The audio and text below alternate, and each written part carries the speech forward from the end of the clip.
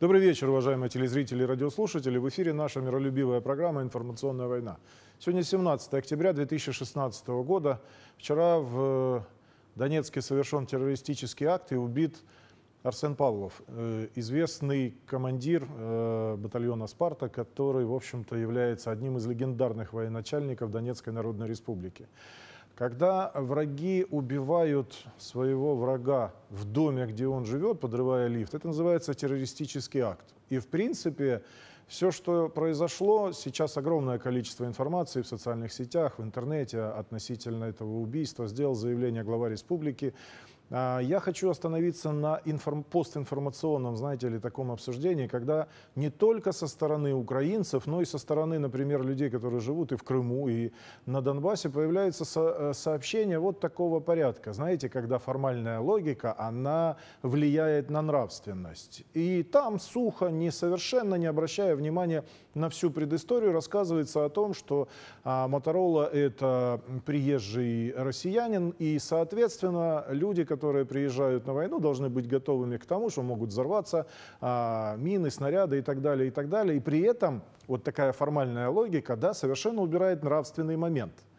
А нравственность – это ключевой фактор оценки событий людей. И давайте я вот предлагаю сегодня вернуться. А, собственно говоря, что произошло на Украине? Что произошло на Украине такого, да, что, например, Крым ушел из Украины, вернулся в состав Российской Федерации. Что произошло такого на Украине, что э, Донецк и Луганск сказали, нет, мы не будем подчиняться незаконной власти, которая совершила государственный переворот. И так далее, и так далее, и так далее. Вот эти вот формальные разговоры, что некоторые деятели э, в социальных сетях говорят, я против того, чтобы иностранцы воевали на территории Украины с той или иной стороны. Казалось бы, формальная логика тут не придраться, но с другой стороны, давайте-ка вспомним и январь, и февраль 2014 года, да, давайте вспомним боевиков, которые являются и регулярной армией таких стран, например, как Польша, Литва, э, Германия, не будем забывать, и Соединенные Штаты Америки. Причем нужно справедливости ради сказать, что Польша, Германия и Литва, да, это страны, которые безусловно, финансировали палатки на Майдане, и, безусловно, у них есть боевики, и были боевики, и они до сих пор финансируют отдельных командиров, но, тем не менее, они не планировали такой сценарий, который примерно с 16 а, января начал реализовываться на Майдане, когда стало понятно, что Майдан и не туда, и не сюда. В стране совершен государственный переворот. В стране при помощи регулярных войск совершен государственный переворот, который, кстати, имеет признаки иностранной оккупации, и, соответственно, все эти власти, которые пришли, ну, власти в кавычках, которые пришли после этой оккупации государственного переворота, они сразу же начали демонстрировать свое отношение к русскому населению Украины. Да? Мы, чего стоит э, история с крымскими автобусами? Да?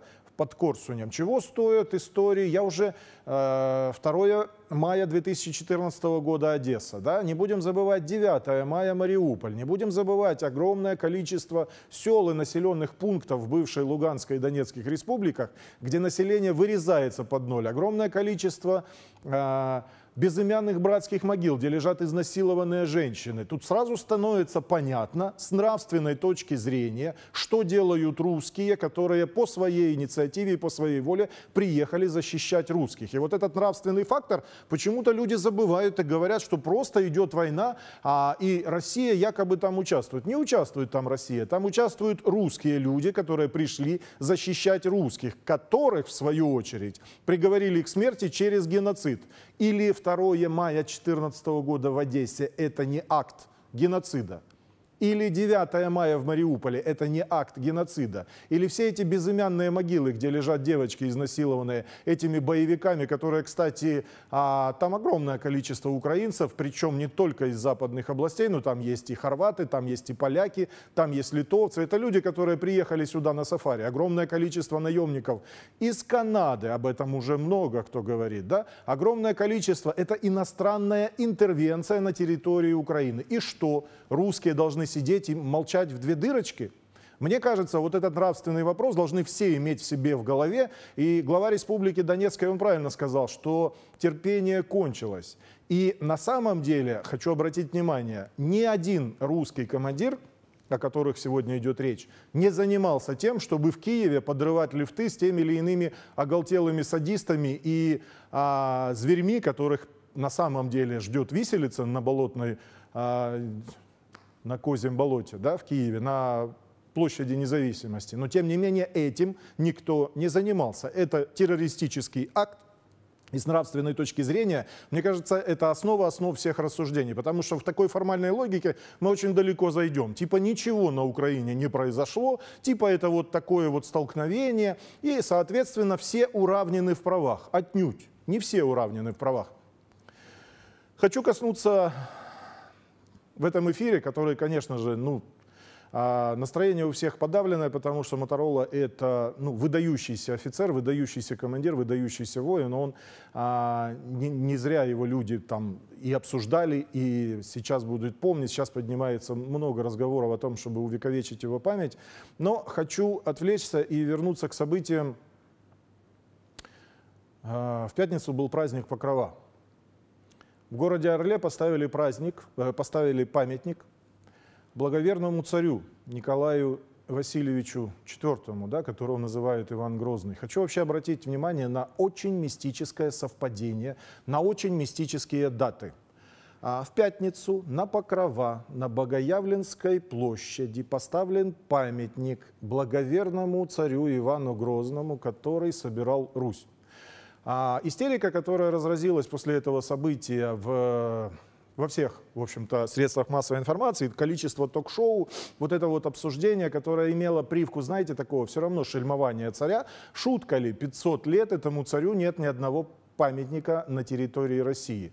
А, даже с учетом того, что он представитель старой династии, а пришла буквально через э, меньше, чем век, чуть больше, чем полвека пришла новая династия, э, понятное дело, что политически это было, ну, как бы неуместно во времена правления Романовых. Но такое шельмование, которое сейчас разражается и которое основано на очень спорных фактах, я сейчас на этом подробно остановлюсь, на самом деле с точки зрения государственности российского государства, да, оно вызывает огромное количество вопросов. Вину Грозному ставятся э, жертвы, связанные с э, походами на Новгород, на Псков, и, э, в общем-то, его называют кровавым, ему ставят в упреки то, что он убивал своих детей, что у него погибло огромное количество жен. А он действительно четыре раза ему э, давалось разрешение на брак, но это было связано с тем, что его жены умирали, его дети тоже. И вот вся вот эта история, которая э, разворачивается вокруг фигуры благоверного Ивана IV, мне кажется, требует того, чтобы в обществе, кроме, знаете, вот Википедия опубликовала несколько фактов. Википедия это вообще английский ресурс, а Англия в этой истории, вообще все, что связано с Иваном Грозным, это прежде всего с обратной стороны, это Великобритания. Это Сити, это Королевский двор, это глобалисты. Причем глобалисты Атлантического крыла. А получается, что Россия это, ну как бы исторически на протяжении 500 лет противник именно этой части света. И вот э, Википедия современная, она даже русскоязычная, она публикует определенные исторические справки, она дает там всевозможные ссылки, сноски. И э, вся эта информация, она на самом деле не имеет никакого отношения к артефактам. Никто из людей, которые судит э, исторические факты, никогда не держал в руках ничего, которое, э, что являлось бы первоисточником. Мы с вами опираемся на пересказы иностранцев, которые уже в правлении Романовых начали курировать историю. Мы опираемся на труды Карамзина, который известный масон, и который, кстати, в частной переписке очень хвалил Ивана Грозного за эффективность его правления, а потом уже, когда писал очередной том своей истории государства российского, в общем-то, диаметрально изменил свои взгляды на противоположное. Огромное количество документов появилось через буквально 100-150 лет, которые давали оценку правлению Ивана Грозного. И мы с вами, вот если с точки зрения, представляем, что мы с вами аналитический центр, да, и мы с вами берем и просто складываем в стопочку все первоисточники, которые у нас есть. И мы с вами с ужасом обнаружим, что первоисточников-то и нет. Мы имеем дело только с пересказами. Причем с пересказами именно тех людей, потомки которых сегодня хают а, благоверного Ивана Грозного. Вот я сегодня хочу рассказать небольшой эпизод, э, коснуться оценки, сделать аналитические оценки небольшого эпизода, связанного с походом на Новгород – а вообще редакция нашей программы готовит большой часовый материал, связанный вообще с анализом оперативных, информационных, спецопераций, связанных с семьей Ивана Грозного, с убийствами его жен, его детей, кто это делал, кто такой Бомелиус и что такое Ганзейский союз. Такого, мне кажется, материала у нас нет. У нас все базируется на пересказах. А в разведке есть такой метод, который называется анализ косвенных разведпризнаков, когда мы с вами не имеем доступа к непосредственно первоисточникам, но даже путем анализа источников, которые есть в открытом виде, причем сопоставление их по датам, по личностям, по атмосфере, кто гонит, кто, например, э, нейтрально себя ведет. Мы можем с вами делать э, текстовый анализ, который, в общем-то, дает э, основание полагать, куда двигался вектор целей, что является наиболее вероятным. И понятное дело, для того, чтобы оценивать фигуру Ивана Грозного, нужно обладать четкой фактологией, а что такое Россия того времени и что такое Ганзейский союз. И что такое Новгород и Псков с точки зрения Ганзейского союза? Вот, кстати, когда было телешоу на канале «Россия. Планета», и только один Проханов сказал, что Новгород входил в Ганзейский союз – никто не расшифровал, а огромное количество людей, которые живут сегодня на территории Российской Федерации, они даже не представляют, что такое Ганзейский союз. А на самом деле мы с вами можем вспомнить, я сейчас дам только короткую справочку, более подробный материал у нас появится в дальнейшем, мы его а, вывесим у нас в социальных сетях, в наших, на наших каналах. Но э, вкратце давайте остановимся. Дело в том, что э, а, 16 век ознаменовался большой раздробленностью многих европейских государств. Германия была раздроблена, Россия была раздроблена, и каждый местный князь, в общем-то, считал, что он имеет право, знаете, такая гордыня была я тут самый главный. И эта гордыня, она рождалась не только от неправедного воспитания или, скажем, безнравственного воспитания каждого конкретного правителя, а то, что в мире на тот момент была тенденция, она называлась Ганзейский союз. Дело в том, что а, города, территории, даже некоторые страны, которые подписывали торговое соглашение с Ганзейским союзом, а нужно сказать, что Ганзейский союз вообще-то это первообраз, прообраз нынешнего Европейского союза. Экономическая ситуация строилась таким образом, что портовые города, которые выходили к морю, прежде всего к Балтийскому, а нужно сказать, что Новгород своими речной системой, он действительно выходит в Балтийское море, то есть это даже по водным ресурсам, это атлантическое крыло глобального предиктора. Так вот, Ганзейский союз устанавливал правило, что любой город, который подписывает соглашение с Ганзейским союзом, он имеет право не платить налоги в государство, на территории которого находится. Он находится как бы в статусе вольного города, фактически под юрисдикцией Ганзейского союза. А Ганзейский союз, а, он имел собственный флот, официальный, под флагом, да, он, а, основная база находилась в германском городе Любеке. В тот момент, когда славян оттуда изгнали, в общем-то, туда э, будущие ганзейцы и пришли.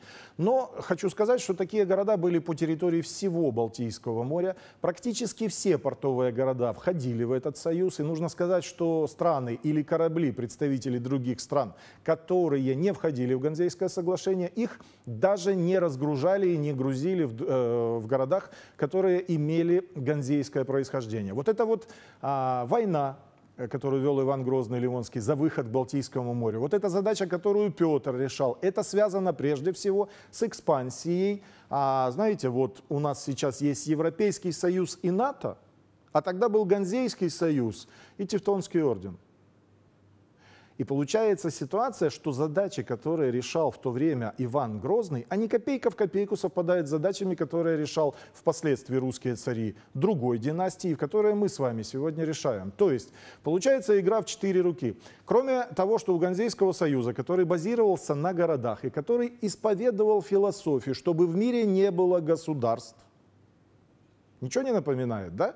А у нас новый мировой порядок, который мы с вами обсуждаем, он связан на этой идеологии, чтобы не было в мире государств, чтобы все территории управлялись транснациональными корпорациями, без обязательств по отношению к слабым, сирым, детям, старикам, чтобы только выгода была, ну, как бы во главе всего. И получается, что Ганзейский союз – это транснациональная корпорация того времени, которая экспансировала все портовые ресурсные берега, а нужно сказать, что мореходство тогда с точки зрения экономики было самым дешевым способом логистики, доставки грузов. И получалось так, что русское государство, которое находилось в раздробленном состоянии и которое нужно было собирать, вдруг столкнулось с жестким сопротивлением со стороны Ганзейского союза. Причем а, ведь историю все прекрасно понимали. Это русская земля, здесь живут русские люди, но те люди, которые, например, э, были купцами в Новгороде, в Пскове, да, которых мы сегодня назвали бы либералами, это те люди, которых ценности заканчиваются на уровне кошелька, а все, что выше, просто отсечено из сознания. То есть люди рассуждают личной выгодой. Когда посадская чиновница в городе Новгороде а, выступила с речью на вечевом там э, поле, вот взять текст ее выступления и посмотреть, да это вот, ну, в чистом виде, как не Явлинский, так э, еще какой-нибудь либерал. То есть а, Новгород, свободный город, мы хотим жить в свободном городе, мы не хотим платить налоги. Какое государство? Государство это атовизм, оно совершенно не нужно, нам и так хорошо. И получается так, что а, с точки зрения северных рубежей выхода к Балтийскому морю, это было основное препятствие, которое препятствовало собиранию русских земель. Я опущу заслуги, великие заслуги царя э, Ивана IV, который действительно за свое правление собрал территорию, даже превышающую всю Западную Европу, под один центр концентрации управления, это город Москва. Это безусловная заслуга государя, которая стоит того, чтобы мы потомки вот того русского государства это чтили, как минимум отдавали дань уважения. Я хочу обратиться, обратить внимание именно на то, что царь в то время, хочу обратить внимание еще на принципиальнейший момент. При царе Иване Грозном на территории Руси не было рабства. Это ключевой элемент, ключевой момент вообще нравственных оценок. Вся Западная Европа была э, под феодализмом, там люди не ценились, не, э, вообще человеческая жизнь не стоила ничего. А свод законов, которые написал сам Иван Грозный, который их редактировал, человеческая жизнь ставилась во главу угла. При том, при этом а, количество казненных по разным преступлениям, причем очень тяжким, особенно связанным с предательством интересов государства, это называется предательство Родины. А мы помним, что и в Советском Союзе, и в Соединенных Штатах Америки, и в Германии этот разряд преступлений особо классифицировался в уголовных кодексах, и, в общем-то, делать вид, что ай-яй-яй, какая жестокость, э, несмотря на то, что такое предательство, как правило, связано с гибелью огромного количества граждан этой страны, в общем-то, не стоит. Царь Иоанн IV исполнял свою миссию государя очень добросовестно, очень скрупулезно и достиг на этом поприще колоссальных успехов то, что э, его правление ознаменовалось резким усилением России, в то время, когда э, на другом конце европейского континента, да, э, Великобритания, ну как бы царица морей и так далее, и так далее, она уже присматривалась к тому, чтобы прибирать будущие колонии свои. Вот это состязание между двумя центрами концентрации управления, Лондоном и Сити, Сити – это один из городов Ганзейского союза. Кстати, по законодательству до сих пор по их законодательству, которое они распространяли на все портовые города, английская королева до сих пор не имеет права входа э, на территорию Сити без согласования с мэром города Сити. То есть это право ганзейское, оно, кстати, до сих пор сохраняется как атовизм. Кстати, Новгород по своему названию, это такой же Нью-Йорк, это такие же города, которые учреждали торговцы, купцы, которым а, во главе угла стоит только прибыль любой ценой, а все остальное это разговоры в пользу приезжих. И получается, что Новгород в том состоянии, его называют республикой, его называют русской республикой, но на этом, на самом деле, этот город всего лишь навсего я вам скажу, ничем не отличался, например, от генуэзских крепостей, в которых, в общем-то, находились или рядом с ними находились а, невольничьи рынки. Пираты там тоже точно так же а, процветали, они занимались торговлей людьми, они занимались разными другими вещами. Это примерно так же, как, например, пиратская республика на Тартуге в Карибском море, ну, буквально в тот же период времени, ну, на, на, на 100 лет попозже, да. И получается ситуация, что для того, чтобы уничтожить на своей территории невольничьи рынки, для того, чтобы навести порядок на своих территориях, который порядок этот нарушается Ганзейской республикой, находящейся на территории города Новгорода. Естественно, государь принял э, действия на шестом приоритете и, кстати, обошелся намного меньшими жертвами, если их сравнивать, например, с жертвами, которые в это время делали э, европейские государства. Там человеческая жизнь не стоила ничего. Варфоломеевская ночь – это ну вот типичный пример сравнения. За все правление Ивана Грозного количество казненных не превышало 4,5 тысяч человек. Причем а, с каждым делом государь разбирался лично.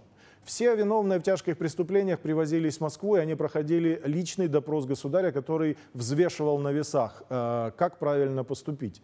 При этом не будем забывать основной элемент вот этой вот истории, который умалчивается во всех комментариях.